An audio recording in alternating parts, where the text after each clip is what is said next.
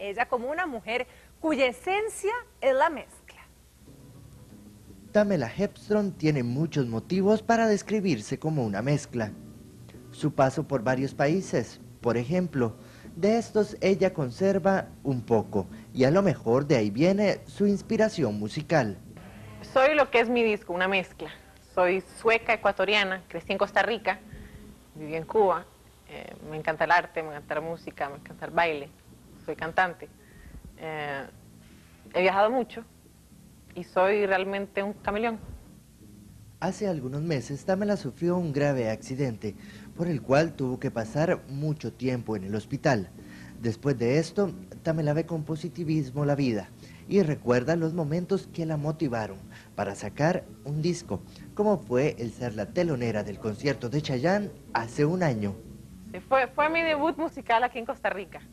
Eh, fue realmente impresionante y fuerte para mí porque eran 23 mil, yo creo que mayoría mujeres, gritando histéricamente por Chayanne.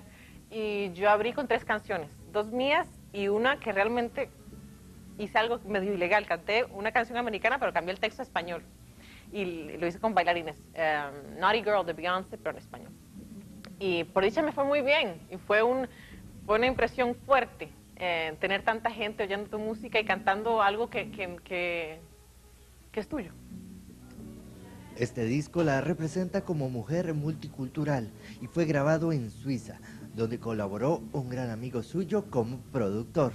Después del concierto de Chayanne, con esta emoción en el pecho, dije, no, de esta ahorita ya tengo que poner mis canciones en disco, tengo que ir a grabar. Me fui al mes a Suecia y me quedé un mes con mi amigo, el mismo amigo Janne Lundqvist, en un estudio en Estocolmo y grabamos unos 12 temas. De esos 12 temas ahora elegí 8 para montar y para, para enseñar mi propuesta musical. Es una mezcla de RB con latino, eh, son canciones en español y en inglés, y música movida y digamos que con base negra. Tamela ya está preparando sus conciertos de lanzamiento. Uno será este primero de julio en el Hotel Martino frente al Suave y el 2 de julio en Jazz Café. Bueno, una mujer muy linda y la verdad que con muchísimo talento y le deseamos desde aquí de Giros a Tamela todos los éxitos del mundo y que suba así como una estrella al cielo porque la verdad es que tiene mucho, pero mucho talento. ¿Qué pasa?